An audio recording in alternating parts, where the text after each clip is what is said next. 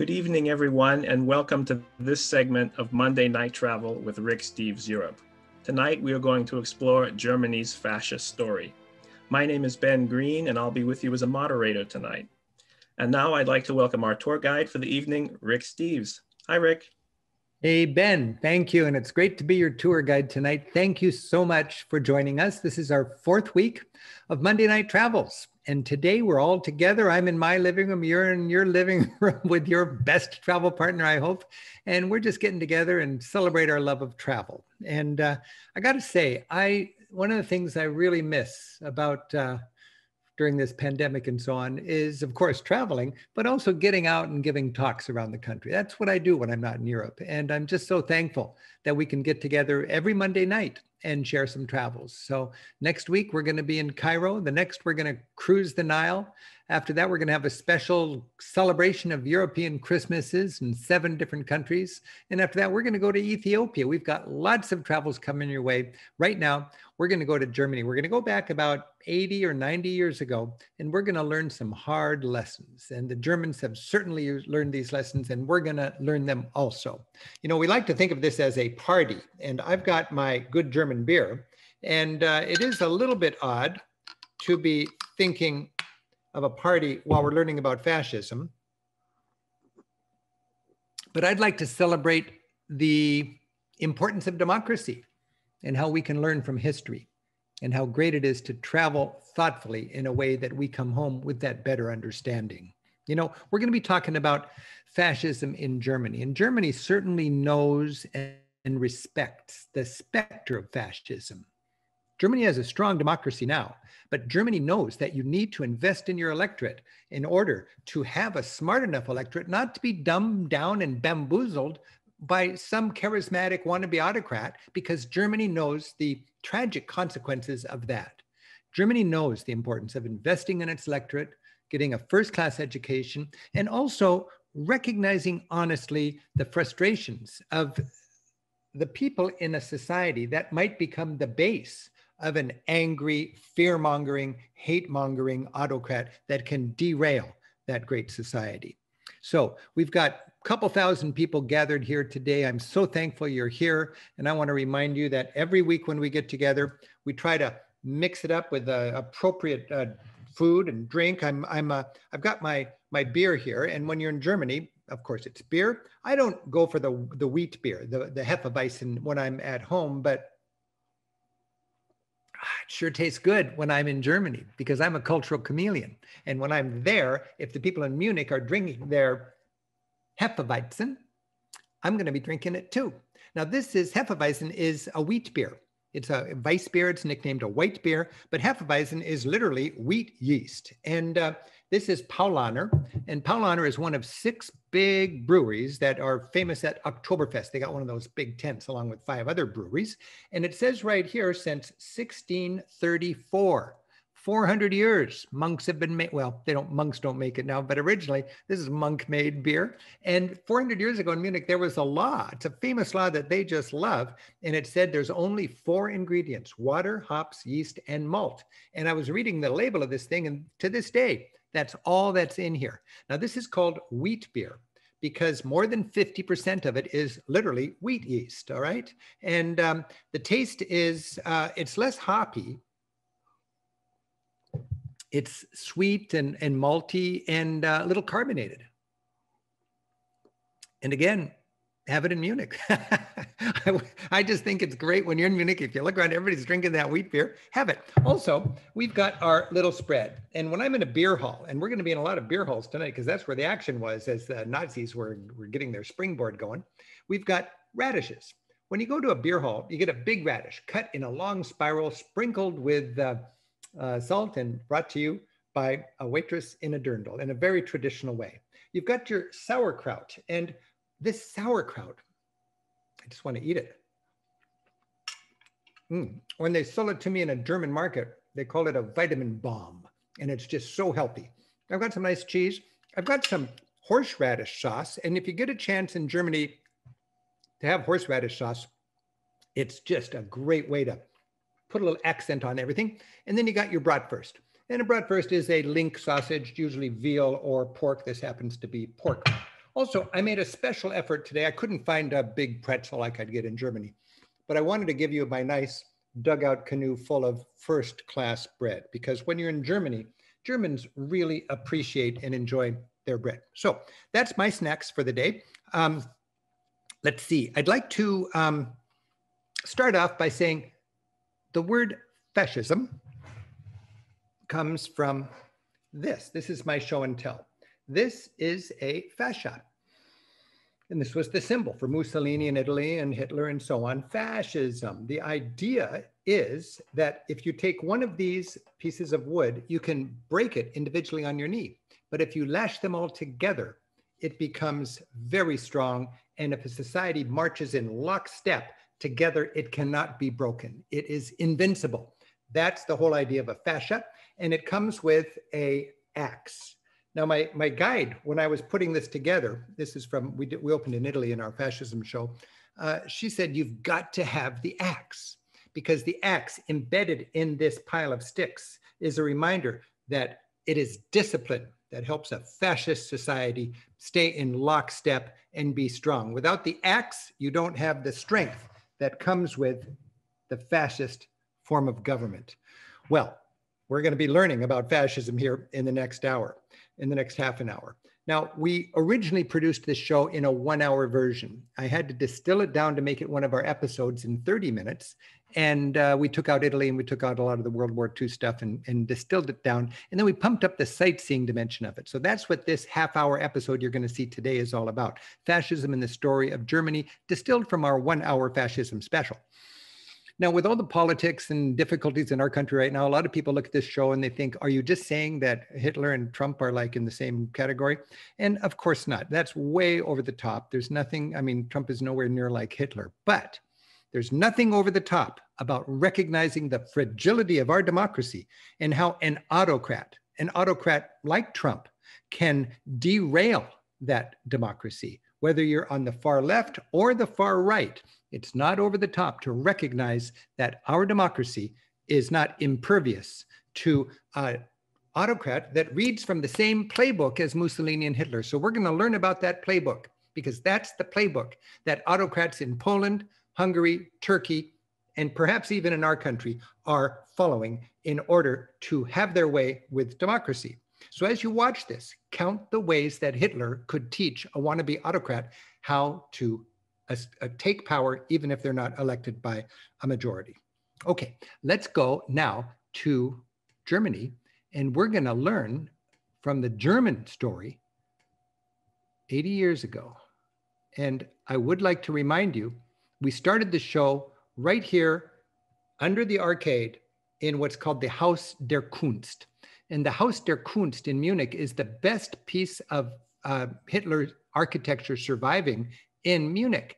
And I had to run around and look for the best piece of architecture to do the two on cameras we start the show with, because that's the on cameras that kicked off the German version of the one hour fascism special. Here we are in Munich. Let's learn about fascism from Germany. No, actually, this time it's the worst of Europe. In this special episode, we'll travel together through Germany and learn. I'm going to start off. Hi, I'm Rick Steves, back with more of the best of Europe. No, actually, this time it's the worst of Europe. In this special episode, we'll travel together through Germany and learn from the hard lessons of fascism that this country learned from nearly a century ago and why it matters. Thanks for joining us.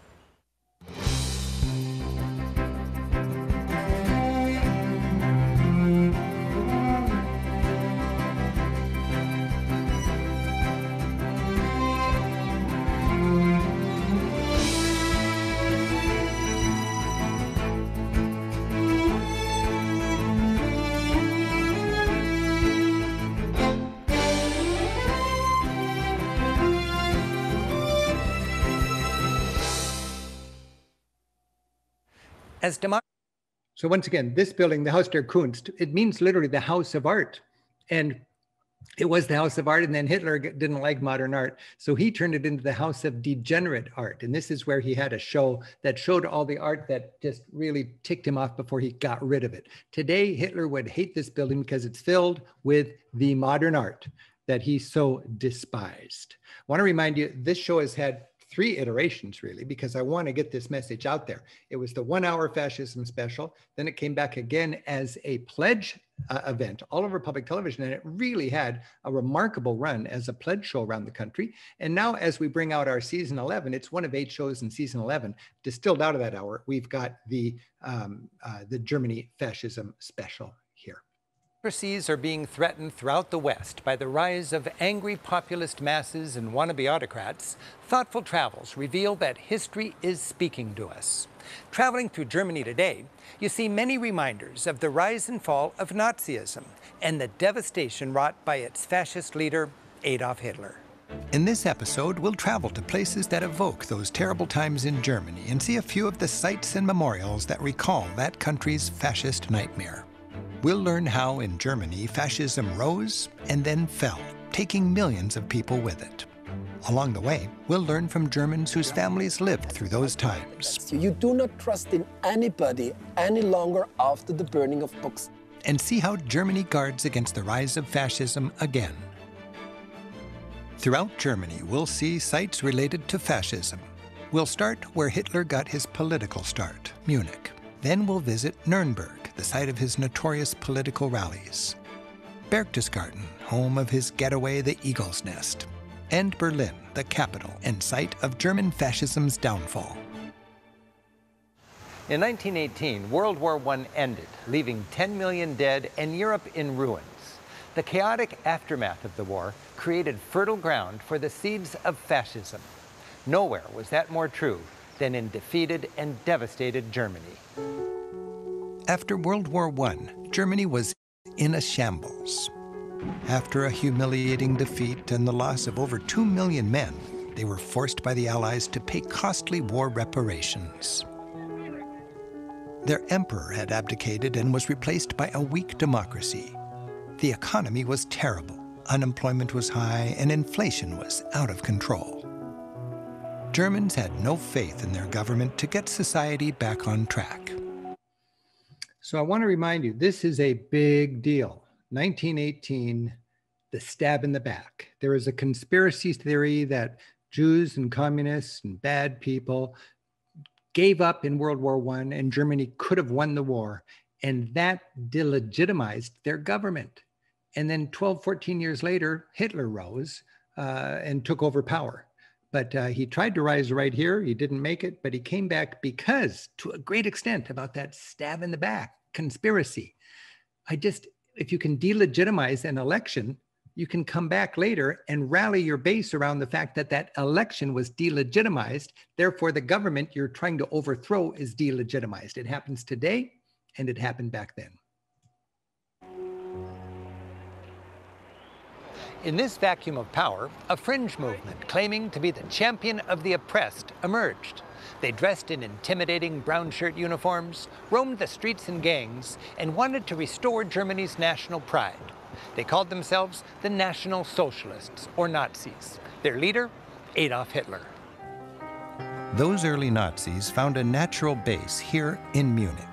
So Munich is a great town for sightseeing, obviously, and there's plenty of Third Reich sightseeing to do here. There's wonderful uh, Third Reich walking tours, and you'll walk by things you wouldn't understand without a guide that are beautifully are not they're, they're intimately tied in with the rise of national socialism from in Munich, you've got a documentation center. And this is something that has only come out in the last generation actual documentation centers designed to teach the German citizenry what happened when we had the advent of fascism of their grandfather's time.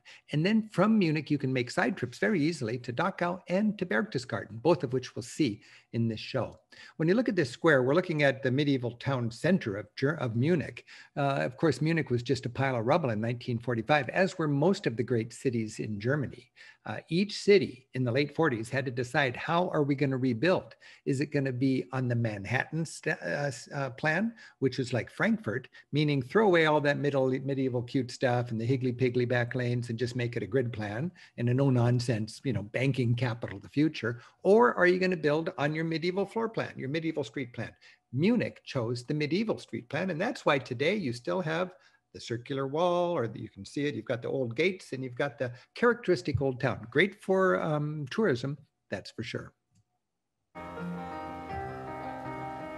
While a pleasant and idyllic city today, this capital of Bavaria was known for its conservative and nationalistic passions.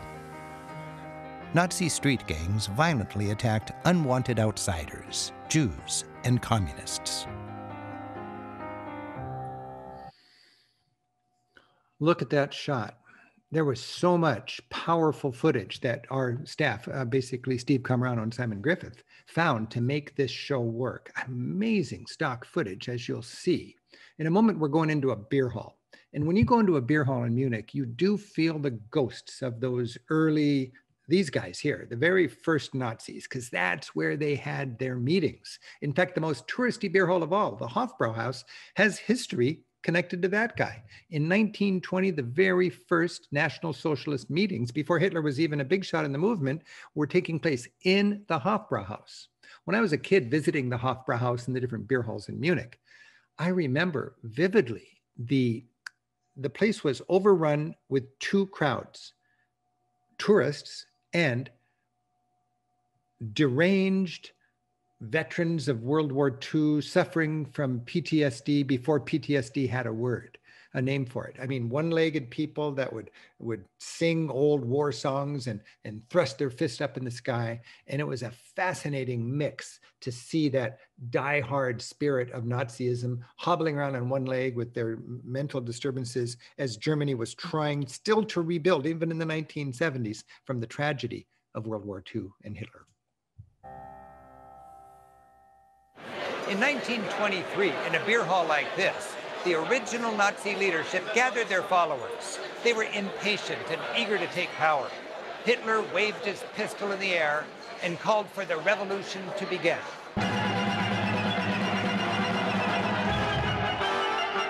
Hitler led the ragtag revolutionaries in the beer hall into the streets of Munich, planning to overthrow the government.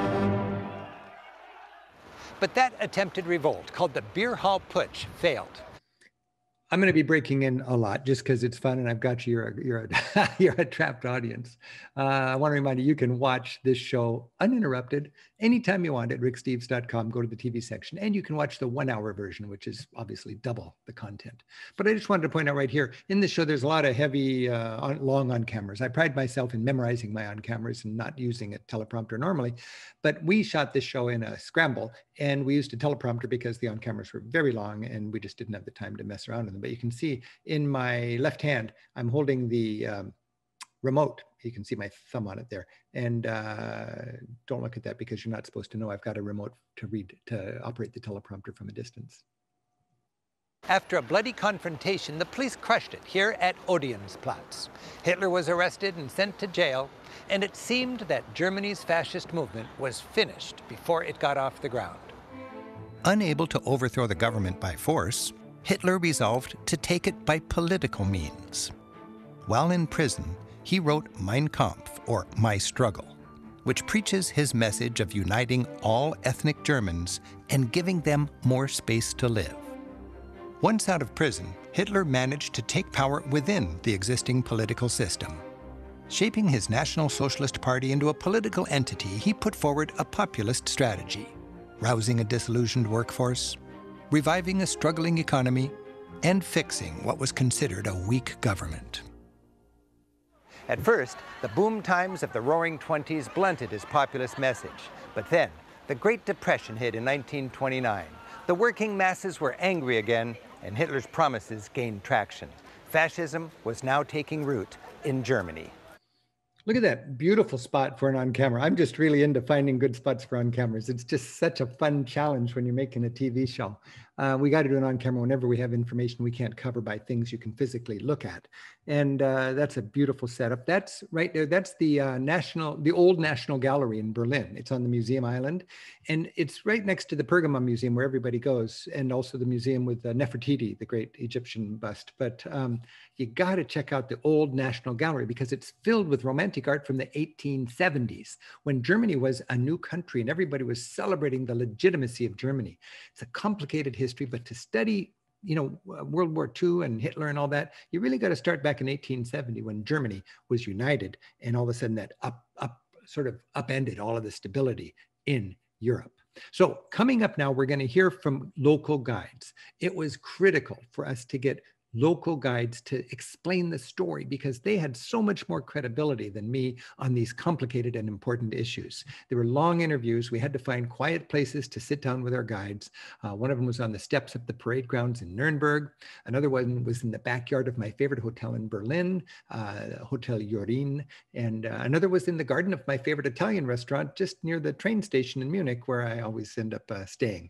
But these are German voices that can speak fluently, ad libbing powerfully, powerfully about their country's story. So I want to thank Andreas, Holger, George, and Thomas four great guides who you're going to meet now. And each of them were really good at showing the parallels I've been talking about with the tricks of today's populist leaders being acted out a century ago. Bombastic wannabe autocrats promising jobs, jobs, jobs, blaming the communists, making simple solutions, telling big lies repeatedly and confidently until people start to think, well, maybe they're true. Stoking their base with rallies, goosing the economy so people would support them even if they had to hold their nose because it was good for their retirement accounts, using the radio, the mass media of the day so expertly.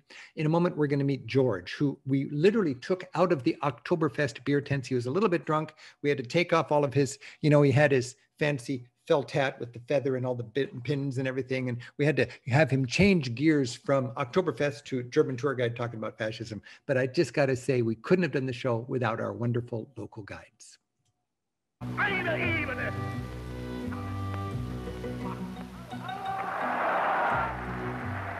So Hitler promised jobs, jobs, jobs to everybody. Um, and of course, people needed jobs. Hitler promised the people everything, everything they wanted. He promised them a bright future. He promised them work. He promised them Lebensraum, living space. Hitler was a powerful, mesmerizing speaker. People were taken by Hitler's speech not so much by the beauty of his arguments, but by his sheer fanaticism, by his anger, by his rage, and his repetitive rhetoric. And people, eyewitness accounts, describe it as a barbaric, primitive effect. He repeated a lie endlessly, and he didn't make it a small lie, he made it a big lie. And he kept hammering it into their heads. He also dumbed it down as much as possible. His simplistic promises were made to order for his political base. More prosperity and expanded borders for more room in which to live, or Lebensraum. Fascism is perceived as a strong movement with simple answers for complicated problems. He blamed Germany's problems on scapegoats like Jews and communists, and fears that the communist revolution in Russia would spread to Germany. In 1932, the Nazi Party won only about a third of the seats in parliament, but Hitler managed to put together a ruling coalition and was appointed chancellor in January 1933. Suddenly, Adolf Hitler was heading a new German government. Then, just a few weeks into Hitler's rule, under mysterious circumstances, there was a fire in Germany's parliament building, or Reichstag.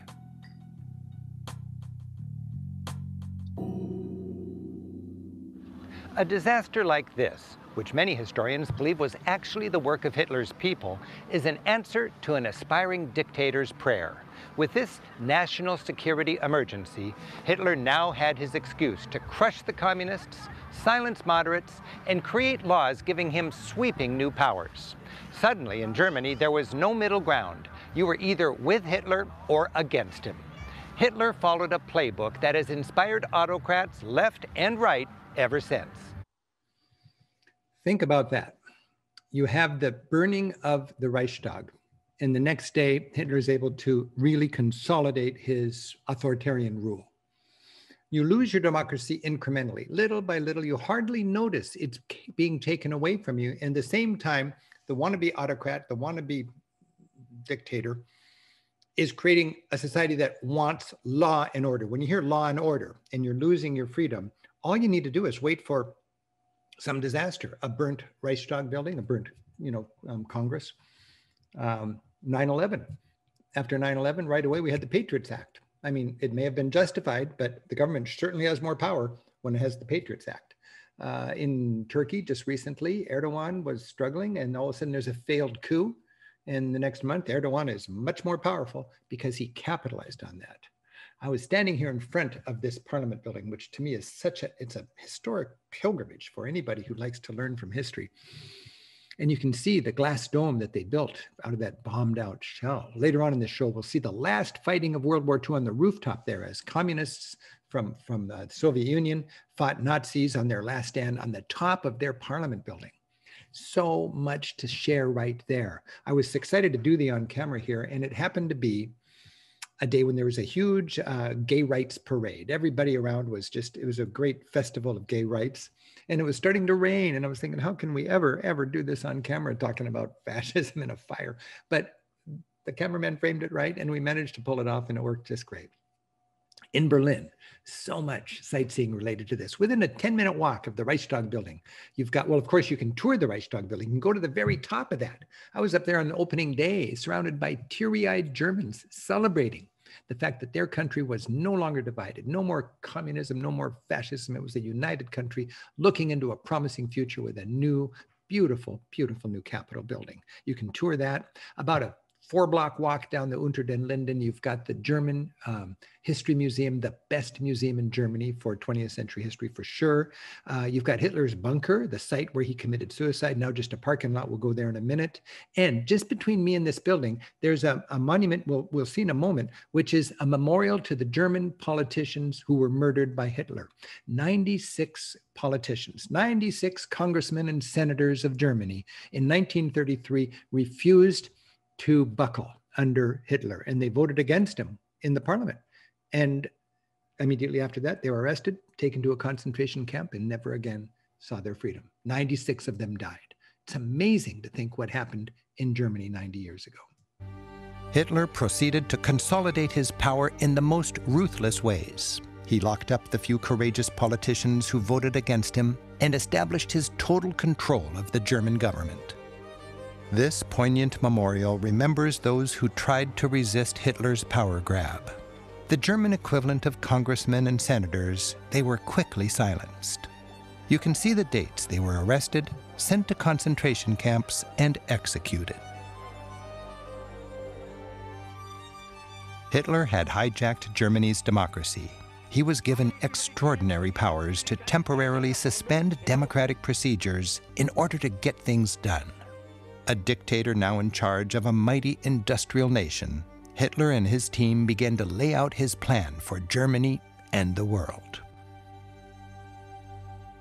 Inheriting a German economy suffering from the Great Depression, including an unemployment rate of nearly 30%, Hitler quickly turned to improving the economy. He accelerated the previous government's policy of large public works and infrastructure projects financed with deficit spending. As a result, employment increased dramatically from 1933 to 1936. Despite this new focus on jobs and the German worker, the Nazis had no use for labor unions. Well, fascism basically hates everything communist, or Bolshevik as they call it. So they would not uh, like trade unions. They were not within the frame of the fascist uh, movement. One year into their government, they declared May Day a holiday for the first time the union celebrated. And the next day, when they were hung over, more or less, they smashed the unions. Despite having the term socialist in the party name, Hitler was a friend of industry. He privatized many industries, and the corporations that had supported his candidacy continued to back him. Corporations would support the Nazi government of Germany because it was good for their profits. With all this economic activity and employment, Hitler re energized Germany. Much of Germany was swept up in Hitler's charismatic vision, and the country had a common purpose. Everywhere he went, crowds adored him. Women swooned when his car drove by. In clubs called the Hitler Youth, boys and girls pledged their allegiance to him. A little boy in 1935, when he looked at Hitler, he would see a godlike person. He would somebody who would elevate the German people, who would elevate the people of this boy to become the perfect master race running the planet. Hitler became known by a new title, which meant he was their leader, their Fuhrer. The idea about fascism is to have a big community that all operates exactly the same way and to have a common opinion that covers all. There was one phrase that was called Ein Volk, ein Reich, ein Führer. One people, one empire, one leader. Full stop. There was a dark side to all this Nazi conformity. Individuality was lost. Individualism doesn't even exist in fascism. It doesn't exist in any aspect. It doesn't exist in art, it doesn't exist in lectures at university, it doesn't exist in uh, newspapers and press. For the Nazis, the city that most embodied their sense of national unity was Nuremberg. Nuremberg, so steeped in German history, was nicknamed the most German of German cities. That's one reason it was a favorite of Hitler's to showcase his nationalistic pomp and pageantry to inspire all of Germany to get on board.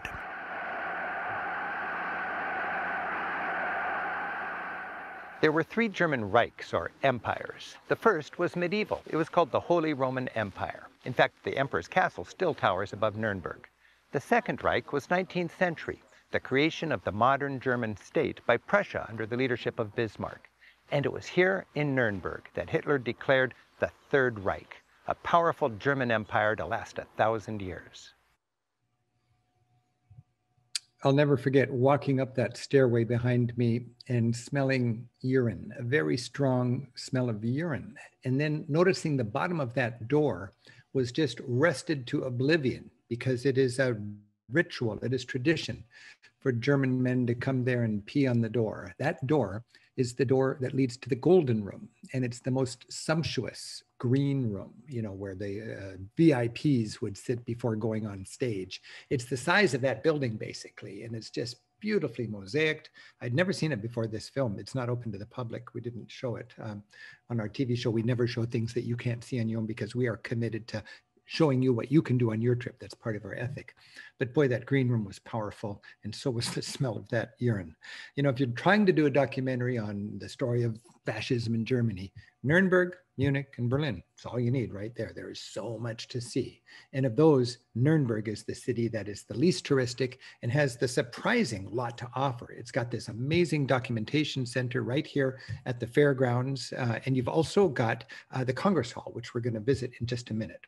You know, in my tours, we have an ethic of never going to Germany without visiting a concentration camp and essentially making a pilgrimage to the place of all of this. Um, horror and slaughter of the Holocaust. And uh, uh, either uh, every every tour itinerary can choose a concentration camp. On our 13-day Best of Germany itinerary on our bus tours, we go to Berlin, we go to Munich, we go to Hamburg. We do not go to Nuremberg. It didn't quite make it in the top 13 days.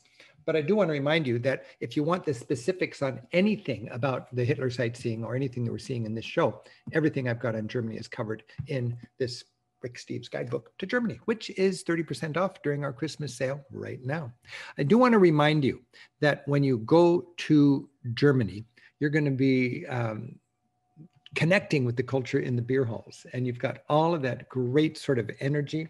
And you're going to have on our TV shows, we always do a meal. We didn't do a meal on this one, so I just want to make an extra little Mm, temptation of your sauerkraut, your radishes, your cheese, your bratwurst, and your horseradish sauce. And remind you, one of the most important words when you go to a beer hall anywhere in Germany, zum Wohl, to your health. Okay. When Hitler took power, he made Nuremberg's Zeppelin Field the site of his enormous Nazi Party rallies.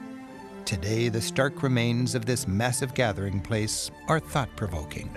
German tour guide Thomas Schmechtig is joining me for some insight. For several years, increasingly elaborate celebrations of Nazi culture, ideology, and power took place right here. Fascist dictators understood the propaganda power of big rallies, where they can manufacture the adoration of their people bask in it, and then broadcast it to the rest of the population. As Hitler said, turning the little man into part of a great dragon.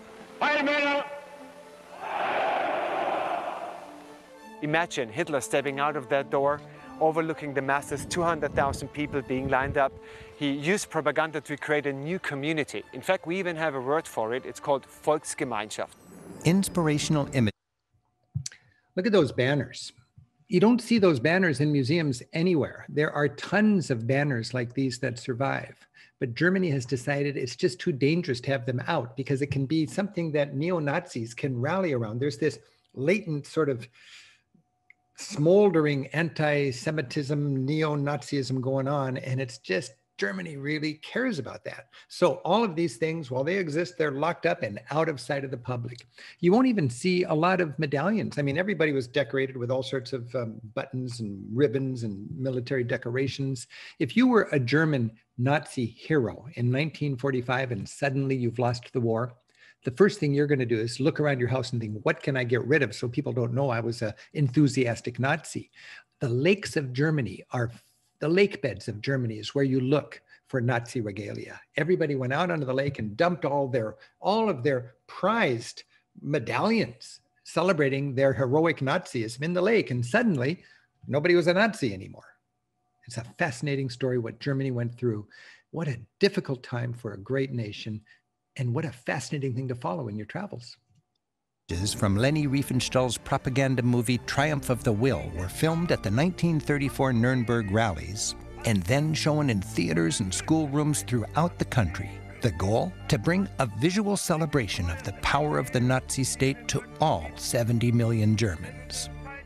Nuremberg shows the enormous power of fascism's secret weapon, propaganda. Looming over a now peaceful lake in Nuremberg is another remnant of the dictator's megalomania, his huge yet unfinished Nazi Congress Hall. Hitler, who believed he would create a new civilization based upon fascist values, modeled this building after the ancient Roman Colosseum, but even more colossal. Imagine 50,000 leading Nazis in here, one third higher, covered by a roof, a window inside the ceiling, sunshine would have fallen down to the podium, once a year, one speech of Adolf Hitler. Another stage set for this propaganda show was Hitler's mountain capping Eagle's Nest. This alpine getaway just south of Munich in Berchtesgaden was used to soften Hitler's image against a majestic, almost theatrical backdrop. His visits were lovingly filmed to show him as the embodiment of all that was good about Germany healthy, vigorous, respectable, everyone's favorite uncle. Set in the scenic foothills of the Alps, it was built in 1938 as a mountain retreat for Hitler and his guests. A stone tunnel crafted with fascist precision leads to Hitler's plush elevator, which still whisks visitors to the top. Because it was in this corner of Bavaria that Hitler claimed to be inspired and laid out his dark vision, some call Berchtesgaden the cradle of the Third Reich. Hold that thought, Rick. So here we have the Luftwaffe headquarters. This is the Hitler building that survives the best in Berlin. It's the former headquarters of the Air Force, the Luftwaffe. Today it's still a government building. Uh, they're very sensitive about where you can stick your tripod and where you can film if you're making a TV show. We did not have permission to film the building. We begged and pleaded, and finally the guard there said, "You can set your tripod outside on the sidewalk, and I can stand inside." So here I am. I wanted to get that frame, that powerful National Socialist architecture, but the tripod is out on the on the sidewalk. This is uh, maybe a familiar image because uh, in 2008, uh, Tom Cruise starred in a movie called Valkyrie and it was the story of Colonel Claus von Stauffenberg, who uh, tried to assassinate Hitler.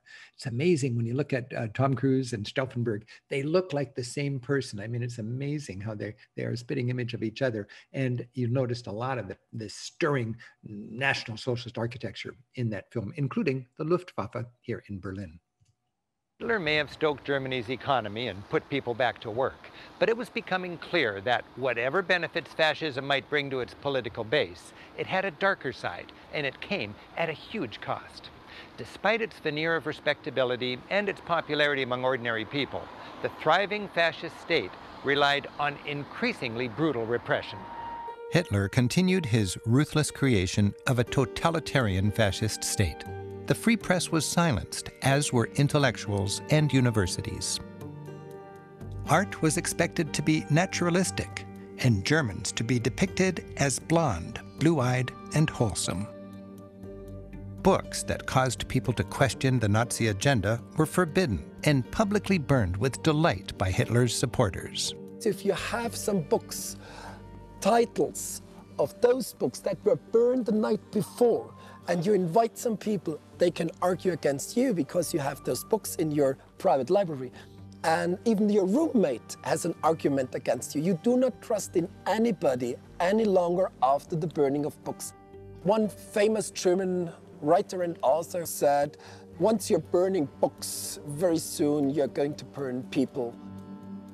Wow. I never fully appreciated the power of the burning of the books ritual until George explained it when we were right there. I mean, today when, when you go to a friend's house, you, you psychoanalyze them. You know, you want to see what's on their bookshelf. What do they believe in? Who, who are they excited about? What do they embrace? Imagine the day after the burning of books, suddenly you have to look around and you wonder, what in my world here betrays my politics? And who can you trust? Because you couldn't trust anybody. So many people were working with the government. By the way, we've got some time for questions and answers. So please, if you have a question, fill it out uh, during the show uh, and in the Q&A widget there. Also, to see this program, I, I hesitate to break into it because it's, it's pretty heavy stuff and it's better to watch it straight through if you get a chance. You can see the one hour version of this program or the half hour German only version uh, if you go to ricksteves.com and look in the TV section.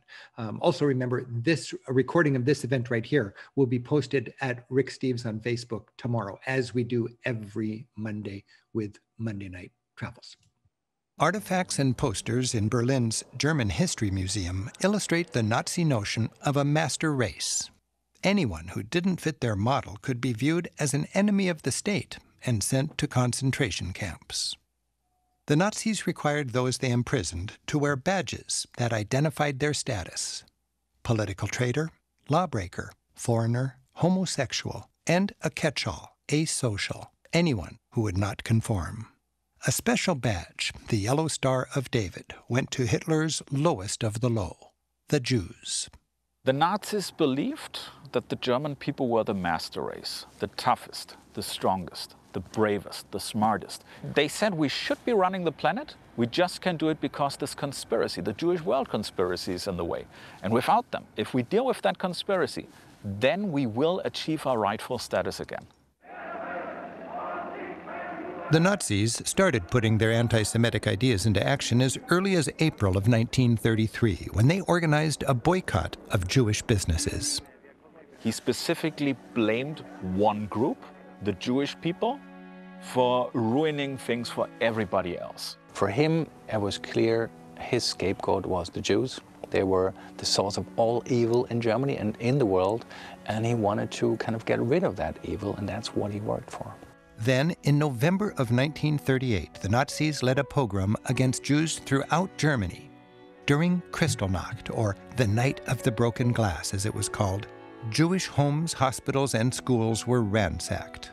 7,000 Jewish businesses were damaged or destroyed, and over a thousand synagogues were burned. And 30,000 Jews were arrested and put in concentration camps. This was a turning point from earlier economic, political, and social persecution to physical beatings, incarceration, and even murder. It was the beginning of Hitler's final solution. Today, Berlin's Topography of Terror exhibit stands on the rubble of what was once the most feared address in Berlin, the headquarters of the Gestapo secret police and the elite SS force. It was from here that government employees managed the Nazi state and dispassionately coordinated its most ruthless activities. The efficient and heartless bureaucracy behind Hitler's crimes gave rise to the expression the banality of evil. The banality of evil. Look at these people. Look at these proud boys. Their parents are so proud of them. This could really happen. Every time I, I, I share this TV show and these lessons, part of me goes, "Oh, come on," you know. And uh, but my German guides are so passionate about sharing this story. They understand that this fascist nightmare could happen with seemingly good people when they're gripped by the fear and, and by, by a charismatic leader, even in our time.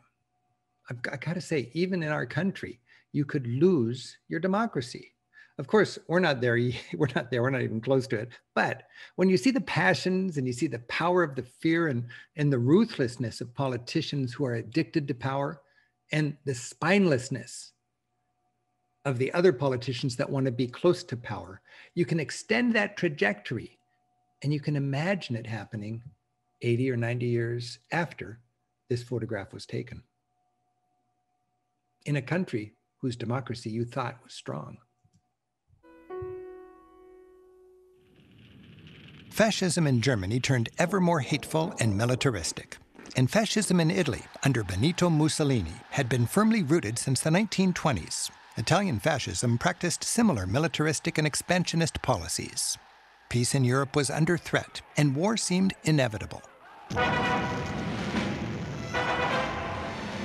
In 1939, Germany invaded Poland, and World War II began.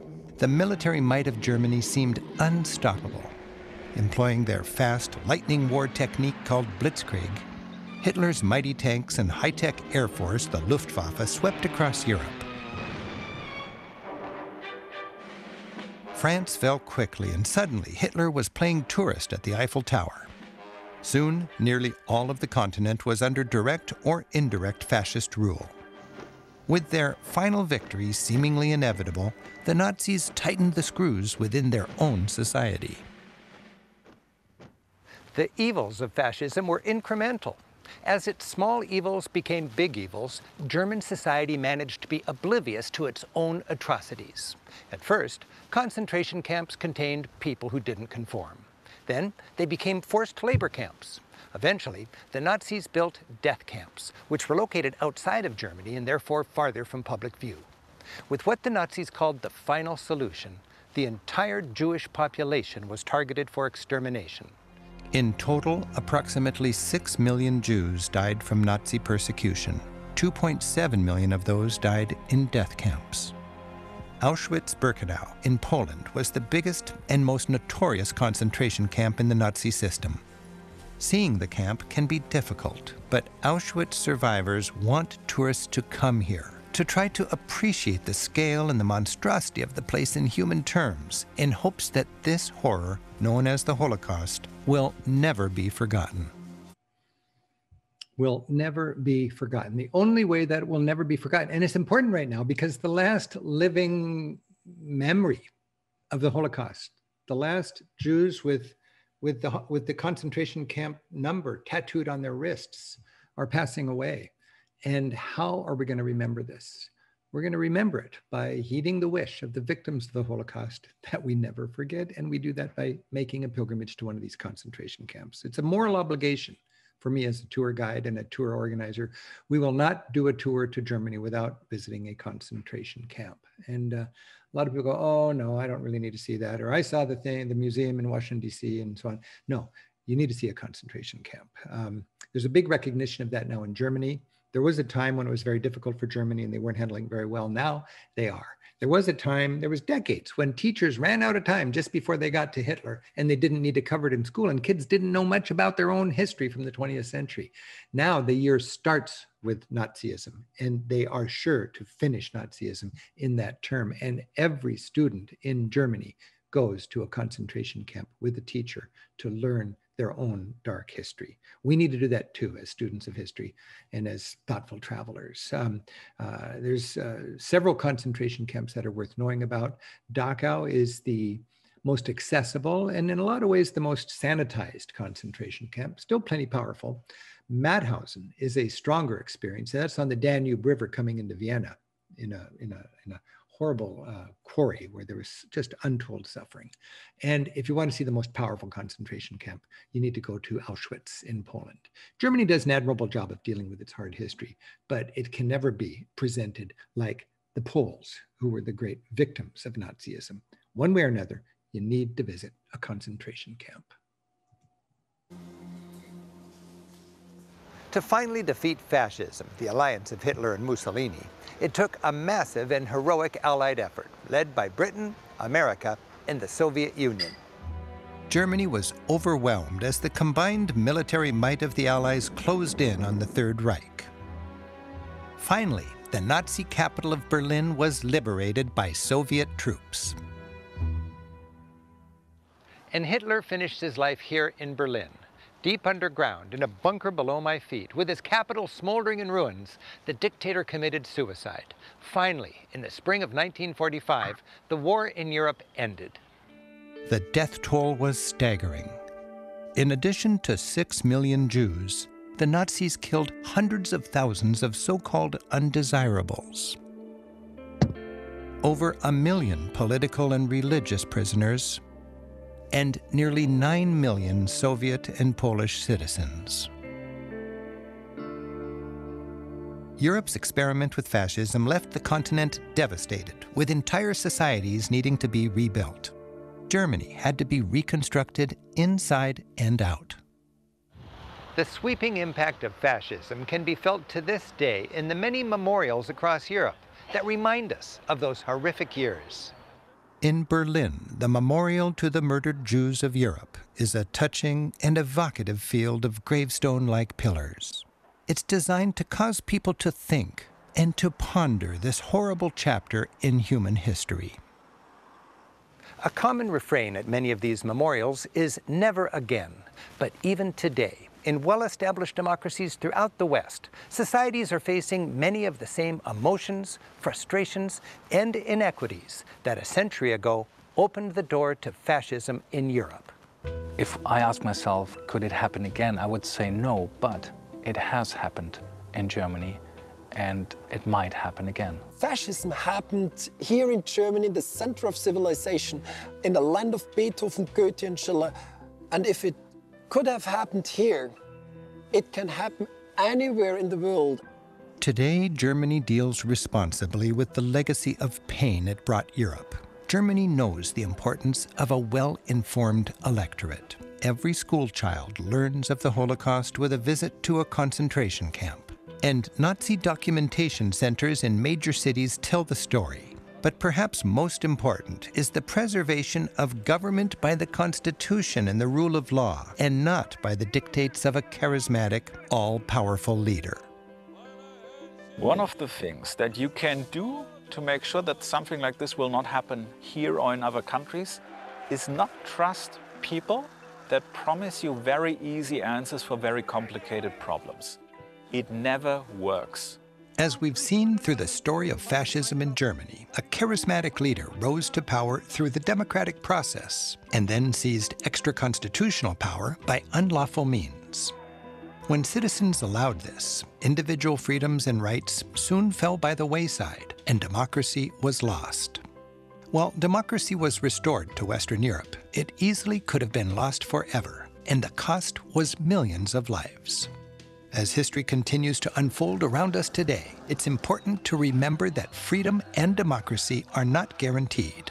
We are all participants, and we are all responsible.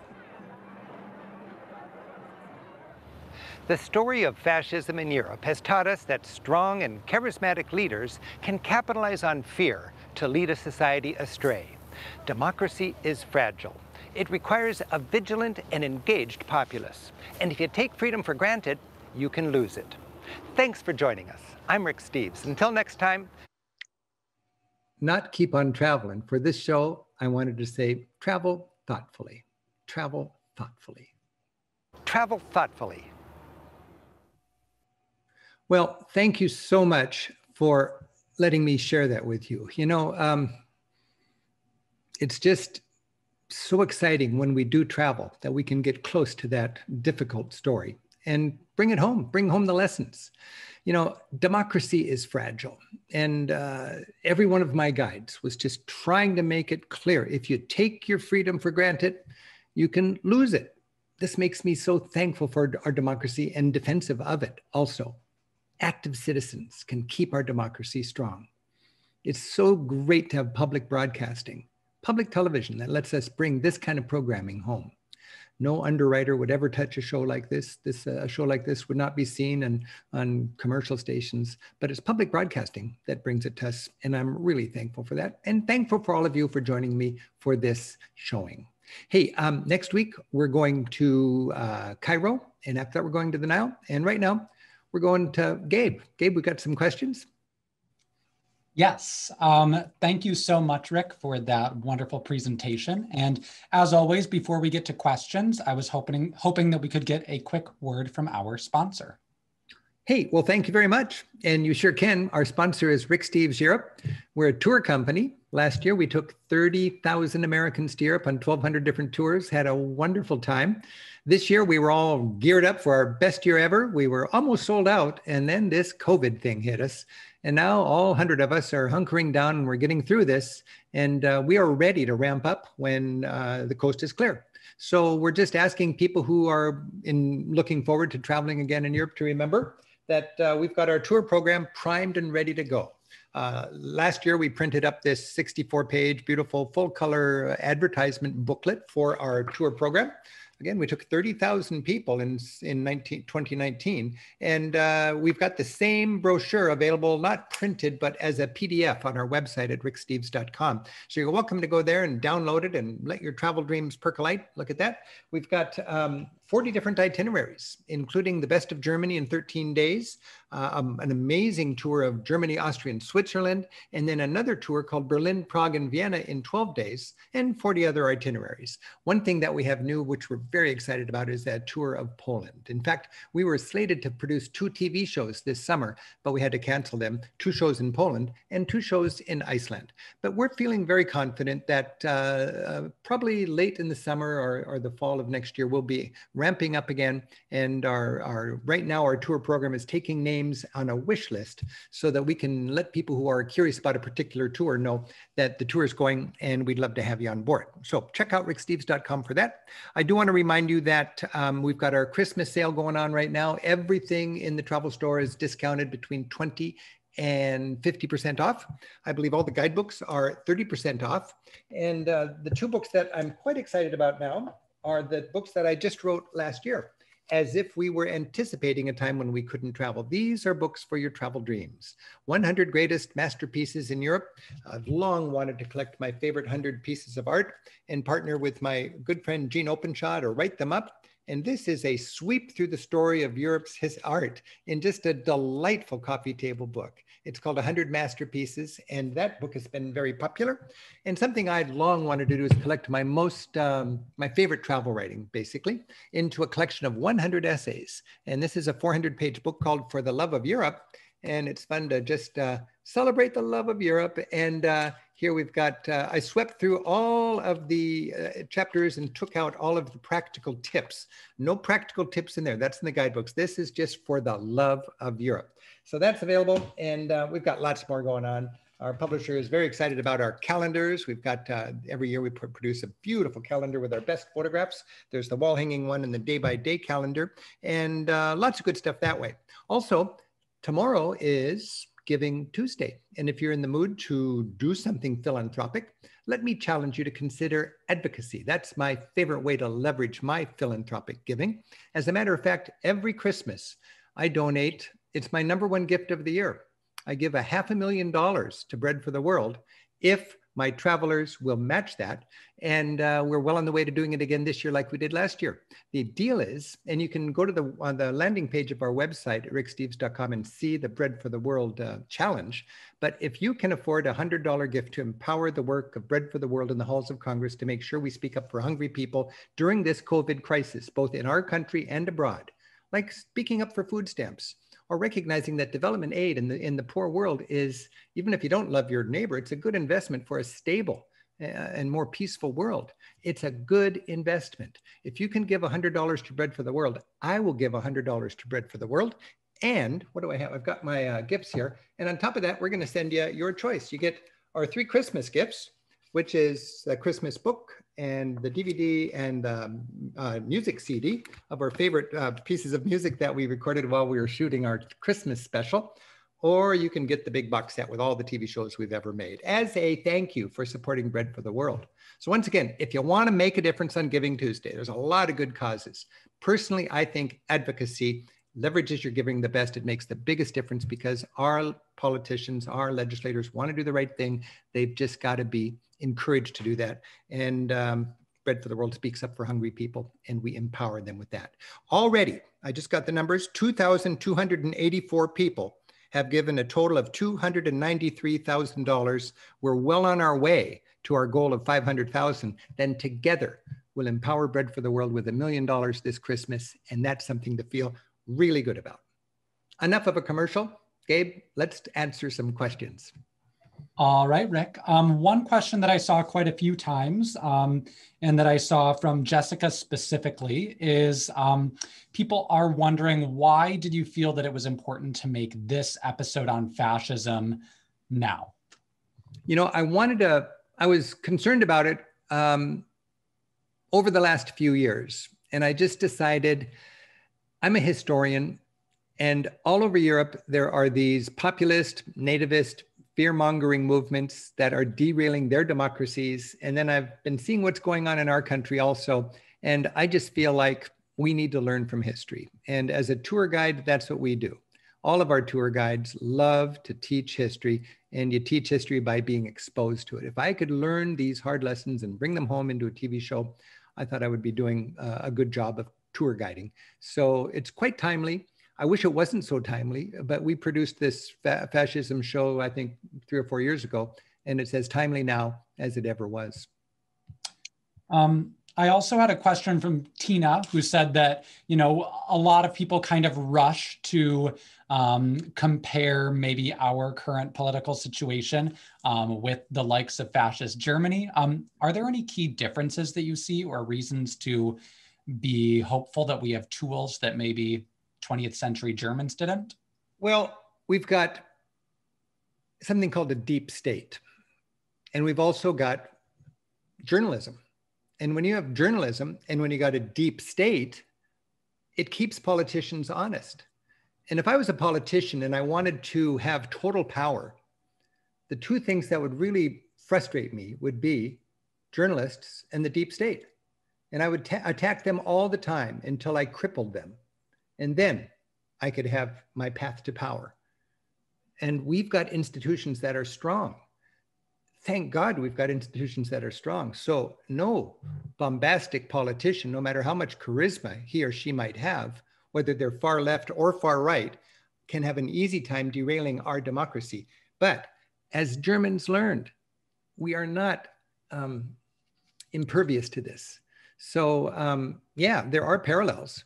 Of course, there, you know, Hitler and Trump, you can't even, you wouldn't even say in, in the same breath that Hitler is, you know, far more um, evil and, and consequential. But the dynamic that a democracy can be derailed is so clear. And most of Europe was fascist. And every one of those fascist dictators that derailed democracies in Europe 80 years ago, they read out of a playbook. It's just do this, do this, do this, and do this.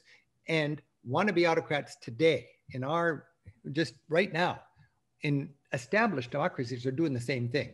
So if this show can shine a light on how we can learn from history, you know, history doesn't necessarily repeat itself, but it rhymes. And we are seeing a lot of that rhyme right now. Um, another question, Rick, that I that Brent asked is, um, you talked a lot about how Germans have learned from their past and created a strong democracy. In your opinion, do you think that we in the United States, especially our educational system, does enough to teach students about how the United States has been the bad guy in certain situations? Um, I know you've said dissent is a patriotic act. Do you think that we in the US teach children to be critical enough of our own country? Yeah, dissent is patriotic. A lot of people say I'm a, I, America bash. No, I America love. I have high expectations for my country. I would live and work nowhere else. But are we doing enough with our education? Education is critical. I mean, right now there's a big discussion going on, and a lot of people want to um, whitewash the difficult corners of our history and make it sound like we are a nation that has nothing to be learning from in our past. And I think that's dangerous, frankly. I know it's been a tough thing in Germany. I saw a German parent with his child at a concentration camp standing in front of a display that showed the canisters of the of the gas that killed thousands and thousands of Jews. And that father had to teach his child what his father did. That's difficult. And you see what that's a, a microcosm of what Germany has gone through. And in my early days of traveling, nobody talked about Hitler. It was a gap. The school year would finish just before the teachers were able to get to fascism and, and Nazism and think, you know, they breathed a, th- a sigh of relief and didn't have to cover it. Now in Germany, a whole year in the curriculum from day one is dedicated to the story of Hitler and fascism because Germany wants to learn from it. They've paid the price for not learning from it. Germany invests in its education. If I was if I had a chance to help our budget be smarter and help our country be stronger, I would consider education as national defense.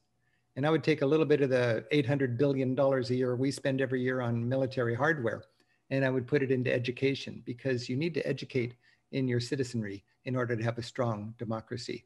In Europe, they invest in their citizenry uh, they've got a Erasmus program, it's called, that pays people to work and study in other countries so they can talk to each other and learn from each other. And I've noticed in Germany, anything dealing with the fascist story is government subsidized. It's really cheap to buy. I've got some great, even in English, history books I've, I've purchased in Berlin that were only the cost of the paper. Clearly, German taxpayers were paying. So this tourist could read that book, take it home, and learn from it. All right. Um, uh, another question you had mentioned, um, you know, the the visits to the concentration camps, um, and I had Craig who was wondering, when you visit a concentration camp, are there is there kind of concentration camp etiquette? Is it do you stay silent? Are you allowed to take photos? Um, do you have any tips for maybe hmm. traveling with children to a concentration camp? You know, that's a very very good question. Um, I don't know if if it's appropriate for small children to go there. It's a great act of parenting and teaching to take young people to a concentration camp, but it when is it appropriate? It's a tough call. But I am concerned with adults and uh, you know um, older students who say, "No, I saw a documentary of that," or "No, I went to the museum in Washington D.C. I don't need to depress myself on my vacation by going to a concentration camp." No, there's nothing like going to a concentration camp you need to go to a concentration camp. I've done that for, for three decades as a tour guide. It's tough. And then we go from the concentration camp, everybody is on the bus and it's just glum city. And uh, then that evening we're, we're getting over it and we go to a beer hall and we're together again, you know, but um, it's an experience people treasures not quite the right word. They, they really value the experience. Um, the etiquette at the concentration camp, it's like going to a, a sacred site. Uh, you, I walk with my hands clasped. I speak in a whisper. Um, you are taking it in. It's sullen. And there are people that are noisy and jocular when they're there, and it just feels so grating. So uh, take some leadership with the people you're with. Uh, expect the people around you to be respectful because it is a shrine to six million Jews who were killed in the Holocaust, uh, not to mention lots of other people. So it's a powerful experience.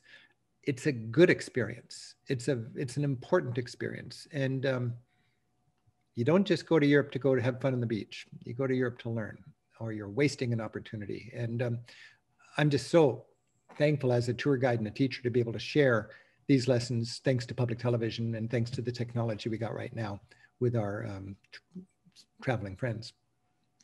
All right, and we have time for one more question, Rick. Um, Darcia would like to know, when did you start seeing travel as a political act? Do you have a, a moment or two that that light bulb kind of clicked on for you? Yeah, I never really wanted to be political in my travels until I went to Central America after the Sandinista and Contra and invasion of Grenada and all that kind of stuff went on. And up until that time, I, I my my life motto was peace through strength, my country, right or wrong. And then I, I traveled south of the border and I realized what an impact a lot of our foreign policy and our trade policy and our military policy has on real people. And uh, ever since then, I've had an appetite to learn. I remember when I was a kid, I was in Tehran. I was just 22 years old, and I saw horrible gap between people on the streets and, and people in skyscrapers in Tehran, in Iran. And uh, I saw uh, real poverty in India. But what politicized me really was trips to Central America back in the 80s and 90s. And then uh, 9 11. After 9 11, I realized my mission is to inspire Americans to get to know the other 96% of humanity so our country can be part of the part of the discussion, part of the family of nations, and it, it really enriches your travel experience. You know, you, you travel thoughtfully and you bring home what which I think is the most important souvenir, and that's a broader perspective. Hey, I want to remind people. I started off with the with the fasces, Gabe, and and this fasces, we think of it as ah Mussolini or Hitler, but it can be a good thing. Uh, it's in our government also, and it's people together and it's the strength of us individually uh, we can be broken but if we are together we can be strong that can be a positive thing and especially now as we struggle with covid and, and, and we struggle with the need to take care of the gap between the haves and the have nots and the privileged and the struggling people in our society we can get over that with a good and caring citizenship. We can be strong in making our nation a better place. And if we're good and caring we don't need the uh, axe because we know it's right to work together. So we can all enjoy some travels, some peace, and some prosperity. Hey, thank you all so much for joining us. Want to remind you next week we're going to Cairo, and after that, we're going to the Nile. And right now, I'll just once again say, Zum Wohl. Happy travels, even if we're all just staying home for a little while.